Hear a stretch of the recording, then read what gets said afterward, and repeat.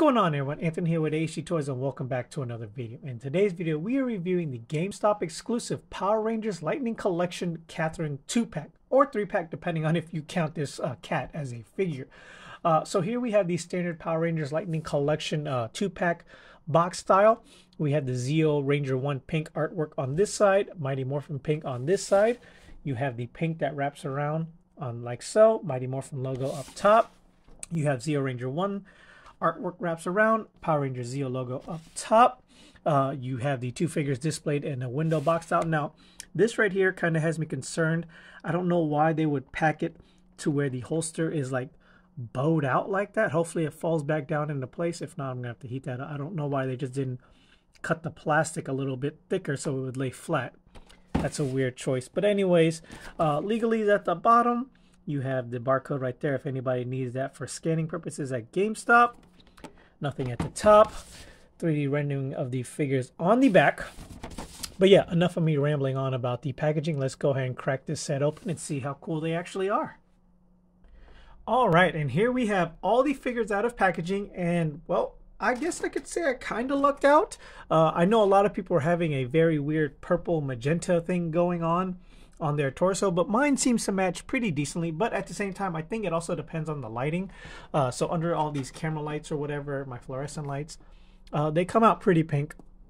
Uh, but anyways, before we get into the details of the figures, let's go ahead and take a quick look at her accessories. Uh, because she comes with a lot, uh, but a lot of it's just basically repeating.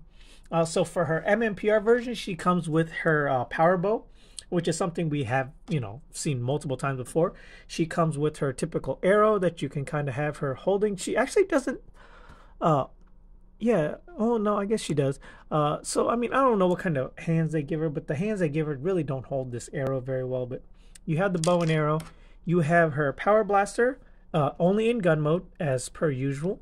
That can go ahead and port in there.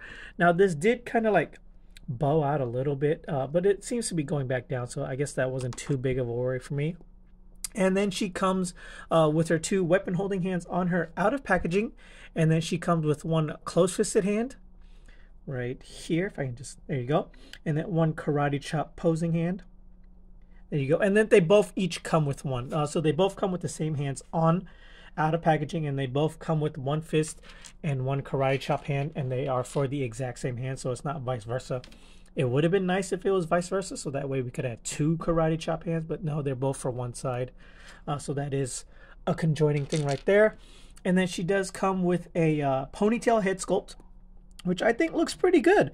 Uh, I don't know if it looks like her per se, but it's definitely better than the first one we got in the Metallic Ranger set and then this ponytail here is going on very nicely.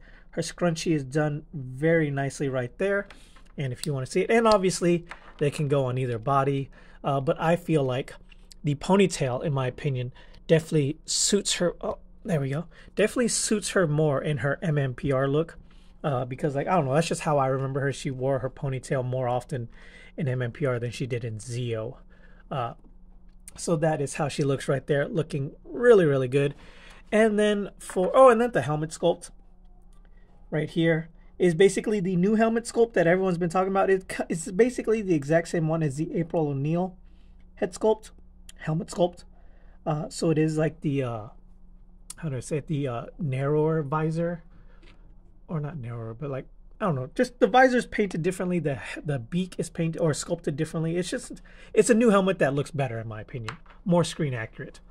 And then for Zeo Ranger 1, you have her typical like uh, sword, which only comes in like its, you know, extended version. It doesn't come in like the sheath version, so you have to put it in this way. When technically, I think it's supposed to like go in this way, uh, but obviously you can't have that. So you just have the uh, sword poured in like so, and then you have her, you know, little blaster, which is okay. Uh, the paint applications on these are very sporadic. And then it comes with the typical like lightning blast effect that you just poured into there. Now all the lightning effects are basically for Zeo Ranger 1, but none of it came for uh, Zeo or the MMPR Pink, which is weird. I'm surprised we didn't get like the typical like arrow lightning effect, uh, which is weird. And you can't use this in the Power Blaster uh, there is no peg.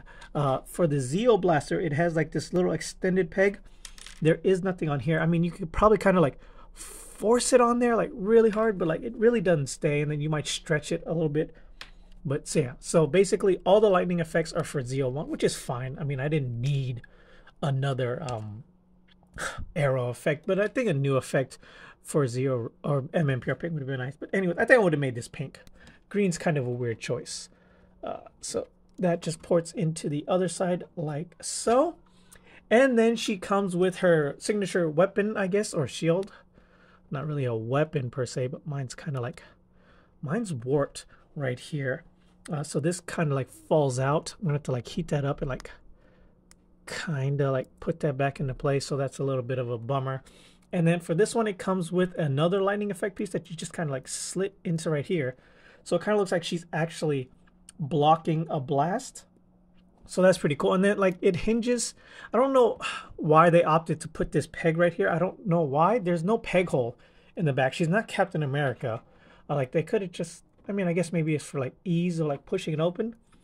Uh, but you just kind of like port it on there. I don't know. I'm not a fan of these. On my Captain America ones, they break so easily. And this one doesn't even look like it fits her very well. There you go. So because it's so tight, they tend to like break pretty easily in my opinion. So that's how she looks. I guess you can kind of, oh, see, there you go. I gotta go ahead and fix that. Oh my God. There we go. Yeah, anyway, not a very well designed shield in my opinion. Uh, I don't know. I guess she could kind of hold it like that, I guess. Oh yeah, I guess she can hold it like that.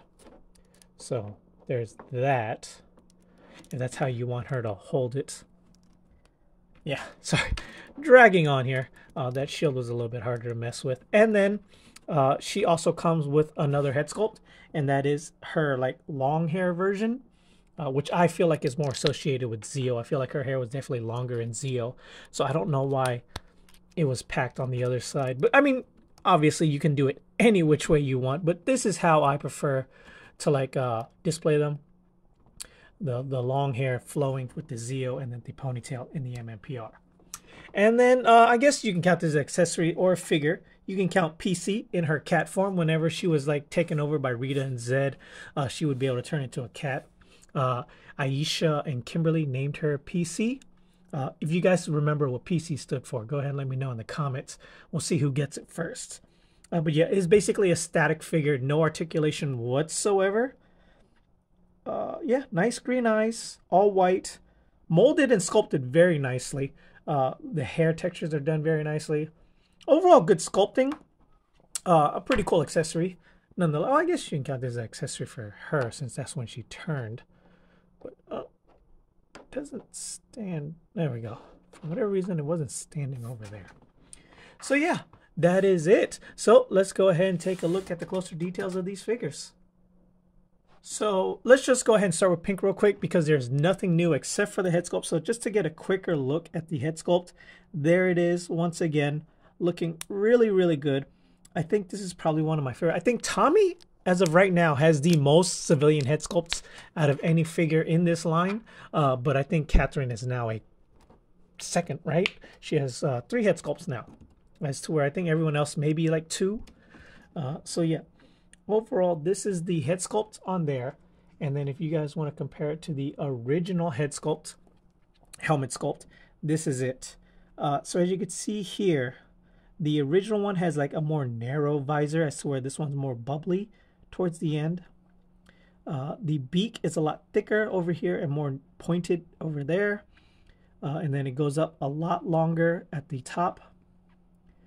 So yeah, Overall, I think this one is more screen accurate, so I much prefer it. But it is what it is. We finally got a new one, even though this is like the fourth Pink Ranger we've gotten, and it's like the fifth in total of MMPR, if I'm not mistaken. Six if you count Ranger Slayer. Uh, and then for Zeo Ranger Pink, you have her, uh, yeah, just like so. Uh, this head sculpt, I think, is probably my favorite out of the two. I just, I'm not, oh no, I just really liked her look in Zeo. And then uh, as far as the helmet sculpt goes, now for this one, for whatever reason, they opted to go back to silver instead of white like they did for Aisha and Tommy. So basically, Adam, Rocky, and Aisha come with no, I'm sorry. Rocky, Adam, and Katherine come with the silver trim, if I'm not mistaken. I'm sorry, as I mentioned before in my last video, I'm in the middle of a move, so all my figures aren't available for me. Uh, so three have silver trims, and two of them have white trims. And if you're wondering, white trim is the correct color. Uh, so silver is an odd choice for me. Uh, they didn't continue the gold or white into the shoulders like they did for the other figures. They did, however, paint the cuffs right here gold, so that's good.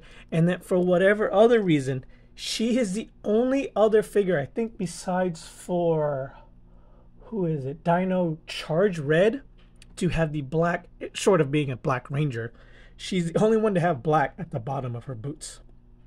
And black is the correct way to have it. Like the bottom of the boots are black. That's how it is in the show. Uh, that's how SH Figuarts have been doing them.